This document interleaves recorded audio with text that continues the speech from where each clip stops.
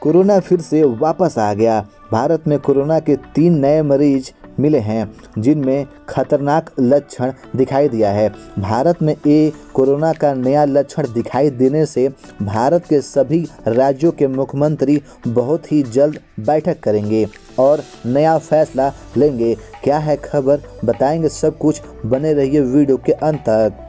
सलाम, नमस्कार, सत दोस्तों।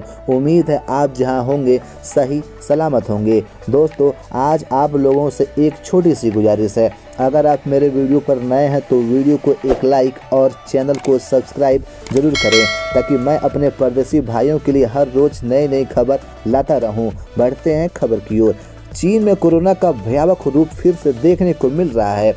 हर जगह कोरोना के मरीजों का बुरा हाल देखने को मिल रहा है। वहीं भारत में भी कोरोना का नया वेरिएंट फैल गया है। गुजरात और उड़ीसा में कोरोना के नए मरीज़ मिले हैं। कोरोना का यह कहर चीन में सबसे ज़्यादा है। शमशान पर लोगों की लाइन लगी हुई है। भारत में इस बार तीसरी लहर आ गई है। इस लहर का नया नाम बीफ एफ़ सेवन के नाम से रखा गया है। अभी तक मिले भारत के मरीजों की स्थिति ठीक बताई जा रही है। अभी तक पूरे दुनिया में 35 लाख मरीज़ मिले हैं। यह बहुत बड़ी चिंता का विषय है। कोरोना के संकट को देखकर पीएम मोदी आज समीक्षा बैठक करेंगे, जिससे आने वाली समस्या के लिए नई ट्रेवल्स लाइन्स गाइड जारी किया जाए। वीडियो आपको कैसा लगा, हमें कमेंट्स करके ज़रूर बताएँ। खाड़ी देशों की हर छोटी बड़ी खबर को सवाल के जवाब पाने के लिए हमें अपना कीमती राय और कमेंट्स ज़रूर करें।